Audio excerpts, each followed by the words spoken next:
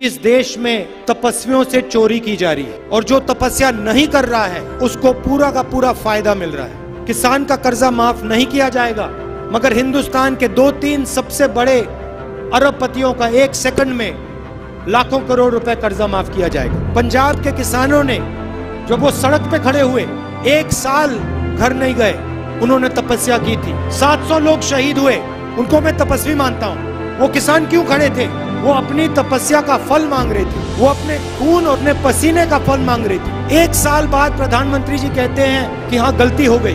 मैं आपको गारंटी दे के कहता हूँ, अगर यूपीए की सरकार होती, मनमोहन सिंह जी प्रधानमंत्री होते तो मनमोहन सिंह जी स्वयं जाकर किसानों से बात कर मगर ये सरकार सुनवाई नहीं करती। हिंदुस्तान के किसान ने, मजदूर ने, युवाओं ने जो हमें सिखाया, तीन महीने में, चार महीने में जो आपने सिखाया, पहले हमने नहीं, सालों में नहीं सीखा।